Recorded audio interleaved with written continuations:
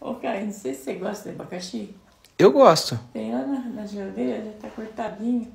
E tá docinho. É mesmo? Se você quiser.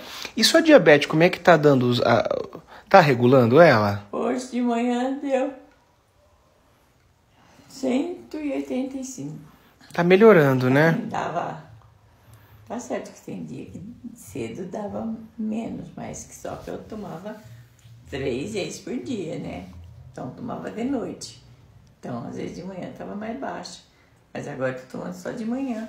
Você se adaptou bem com o remédio da, da diabetes, né, vó? É, por isso daí vai indo bem. Vai indo bem, né? Ô, vó, que bom, viu? Eu fico muito feliz em ver a senhora bem e poder te ajudar. Porque logo, logo vem um bisneto e a gente vai ter que viver mais uns 10 anos, vó.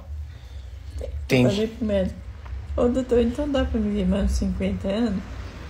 Ele olhou bem, falou, acho que dá sim. Aí eu falei, mas eu não quero viver 50 anos, não. Uns 5, 6.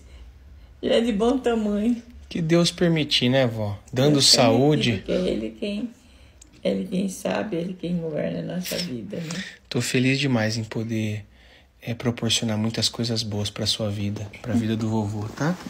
Linda. Hoje tem tanta gente que. Ai, eu, eu sigo vocês. Ai, meu Deus. Ai, como ela é linda. Mas, é uma ela mais linda, é um natural. Eu, Mas que lindo o quê? Não, é assim, ó. E ó, eu tô sempre torcendo pra senhora, hein? Nunca torço pro vovô, não. Eu torço pra senhora. Tô todo mundo vendo que eu... Oh, e a correta.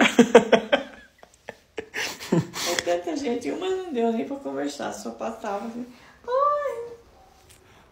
Mas. Ah, E será que ele viu na, na almofada? canadiennes